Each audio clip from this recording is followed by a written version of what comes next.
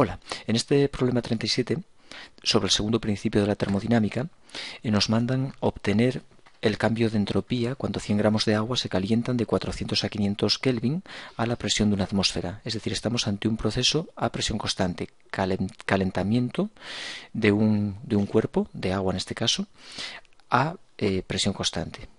Presión, una atmósfera y constante. Eh, además, se trata de un proceso reversible.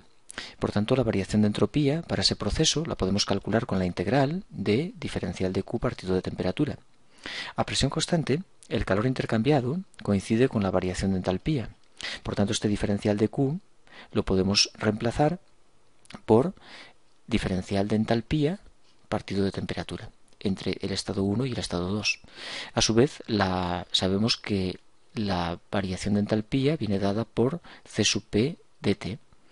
Bueno, voy, voy a eh, voy a eh, expresarla en forma de C molar porque el dato que me dan son 8 calorías mol Kelvin, que es una C molar.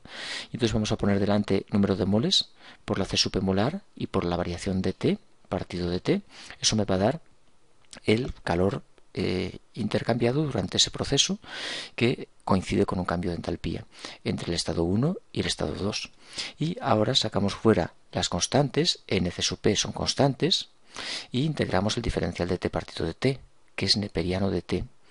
Entre un estado 1 y un estado 2 me queda neperiano de t sub 2 menos neperiano de t sub 1, que va a ser neperiano de un cociente t sub 2 partido de t sub 1.